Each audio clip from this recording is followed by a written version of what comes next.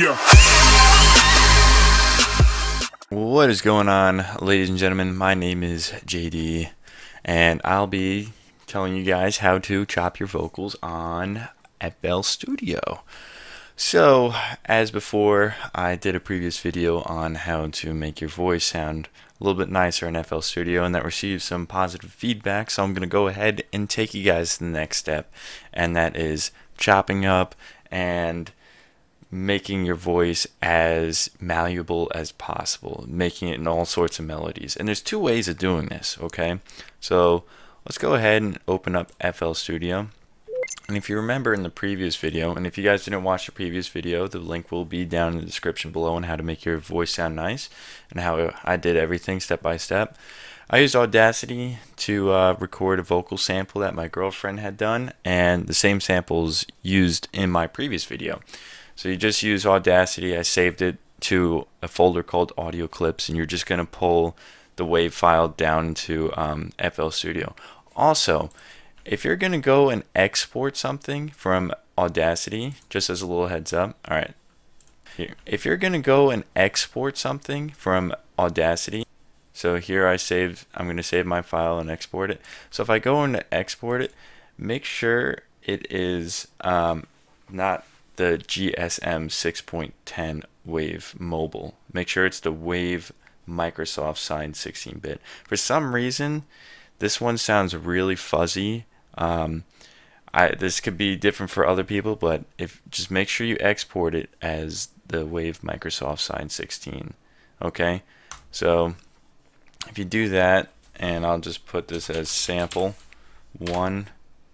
Okay, um, let's go into my folder. I'm going to save it to um, music, or actually no, I'm going to save it into audio clips.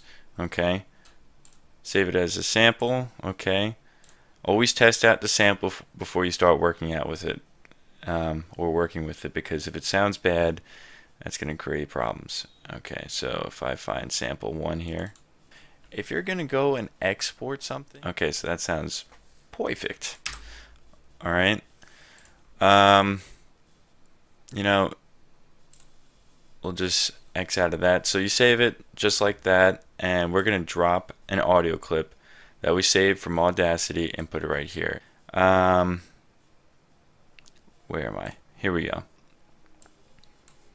So if I go into my main drive, go into audio clips, um, I used Birds as the sample last time. This time I'm going to do a different one that's part of the same song. It's called Feeling Good. It, it, it really doesn't matter. It's just a different audio clip. I'm going to get rid of these just so I can free up some space. Just right click and hit delete. Okay, so all you have to do is literally just drag it into the, um, the channel rack here. Okay, so this was covered in my previous video as well, so I'm not going to go too much into detail. Alright, so now we're at the part, I mean the part where we're gonna start slicing up the vocals and chopping it up. Ironically enough, there is a um, plugin called SliceX, and all you have to do is click the little plus button here, go down into drum and go to SliceX, alright? You're gonna open up this little plugin, okay? Go back to your audio clip or whatever you saved it as, okay? I'm gonna pull in little sample here, alright? And it automatically, like magic, just chops it up for you. And you'll see here in this red highlighter region is all the notes it chopped up. All these are just dummies. These don't, um, these aren't used because the sample isn't long enough. Okay, so.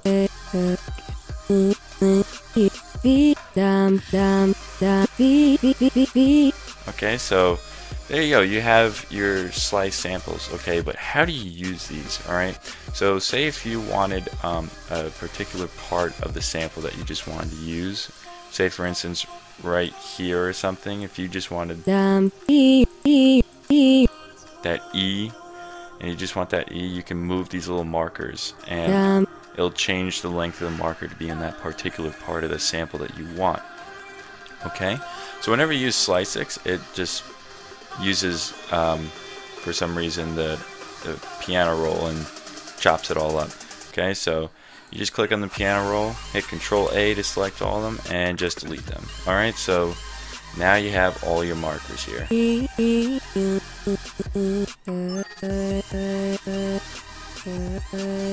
like that one.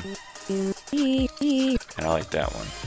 Um, so you kind of have to just play around with the markers here to see what sounds best to you, um, what kind of notes you want to use for making a melody.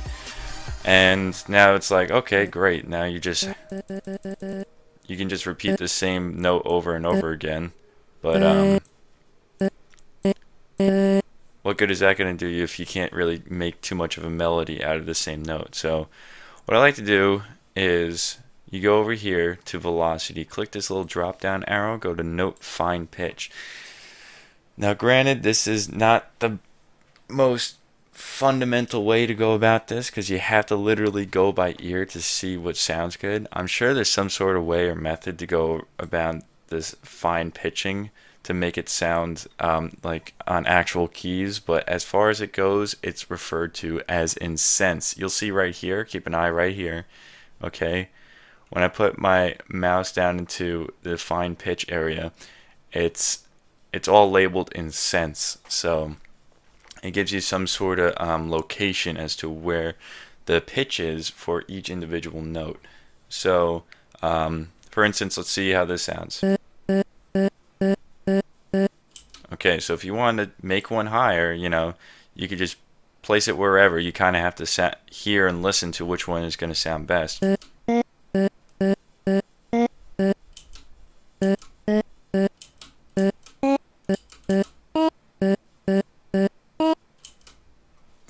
I kind of like that sound.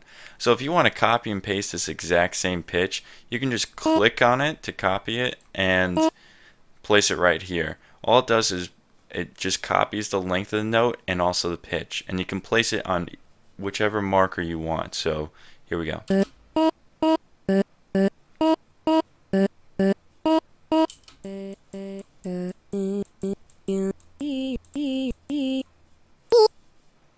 Copies the pitch and the length as well. If I wanted to make it like lower or something or still higher pitched, keep in mind this this centerpiece this is always where the bass note is where it was originally recorded with. So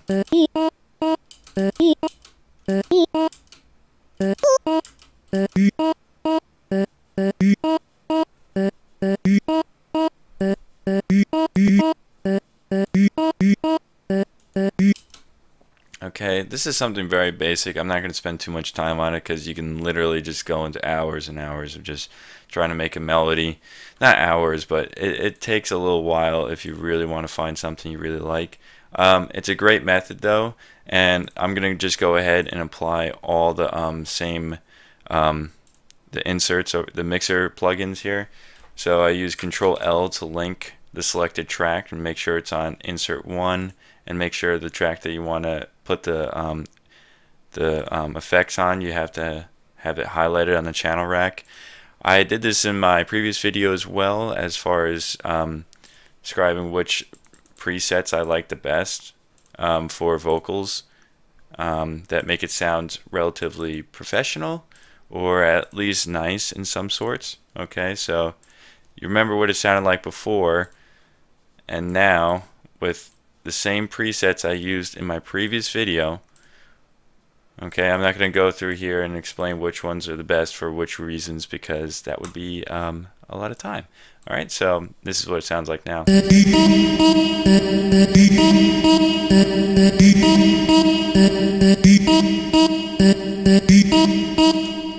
Obviously, it sounds a lot better. Okay, so that is your first technique. Your second technique is going to come down to using individual notes and using them like you would be using a regular old um, I don't know what's it like an instrument okay? And what I mean by that is we're gonna cut out each note and you're gonna be able to actually hit keys with them make melodies a lot easier but the restriction is it's only that individual note and you don't have access to all the different notes like this. Now this method also is also really nice okay? So what we're going to do is we're going to go to our open plugin or a plugin picker, right? We're going to open up this panel. We're going to go to Edison over here, all right? and we're going to drag it over on here. Okay, and just like the Slice X, we're going to bring that audio clip in here. Okay, um, same audio clip that I had was in audio clips and it was feeling good. Alright, just going to drag that in on there.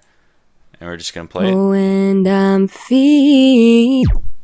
Alright, so if I like. I'm, I'm oh, If I hear something, I hear something over here that I kind of like. No, not that.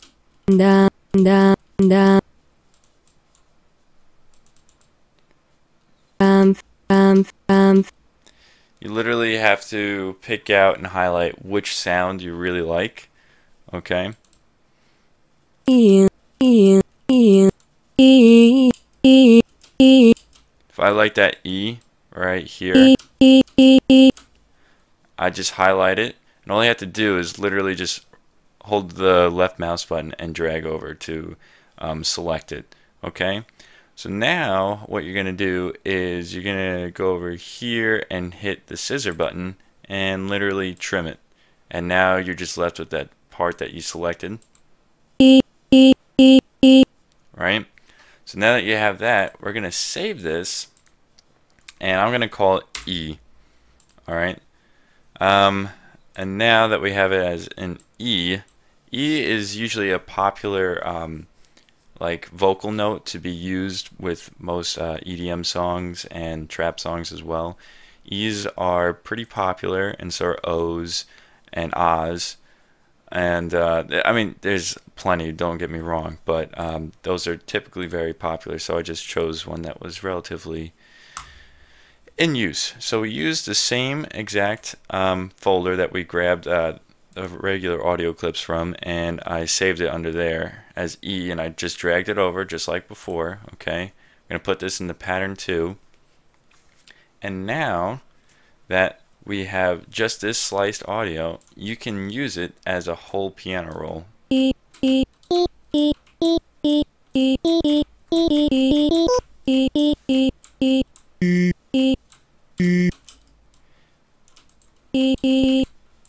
Some reason, it comes out a little bit. Um,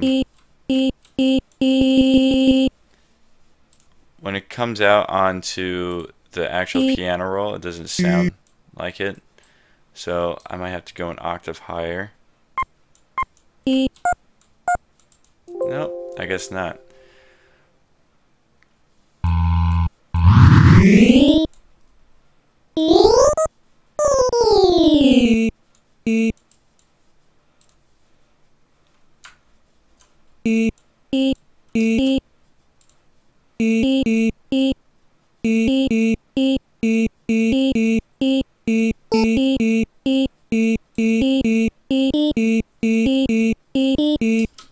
Going to place it into the same channel rack. I mean the same uh, mix pattern over here in the master mixer. Okay, so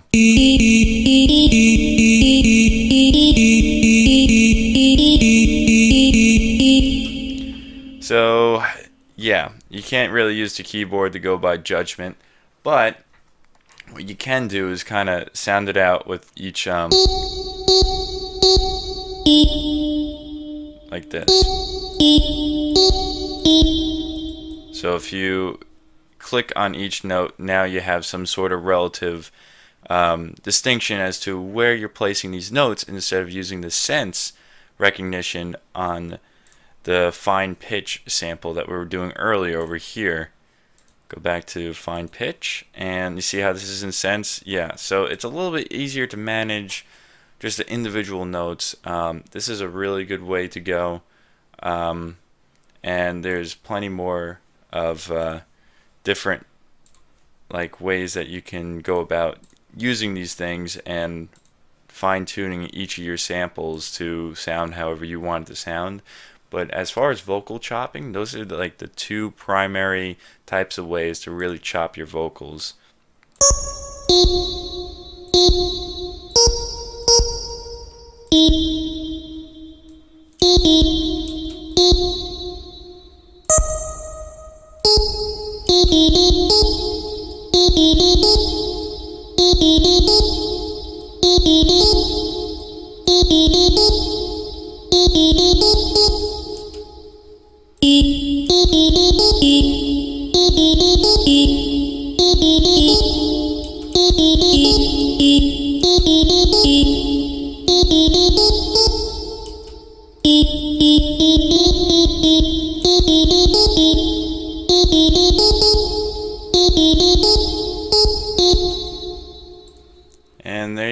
Basically it, guys. Um, you can go ahead and change however you want to make it with these things. Um, as far as the vocal samples go, if you want to make it a little bit more like uh, trap style or EDM style, you can like literally go over and click on your sample, go over to the wrench, hit the porta and the and the mono, and it will make like this slide sound. And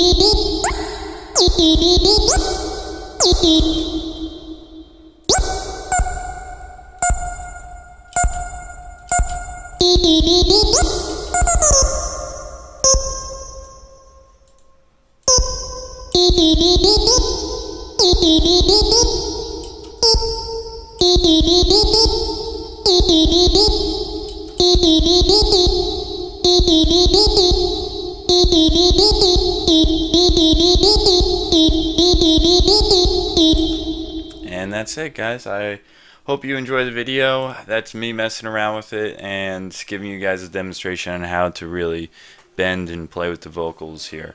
So I hope you find it informational. If you liked the video want to see more like this, please hit the like button and also subscribe if you want to see more videos like this. Um, the like button really does help me into persuading me into which video I want to make next and what kind of direction I want to go to. So it's based on what you guys want to see. So definitely leave some feedback. That would be much appreciated. And thank you guys for watching.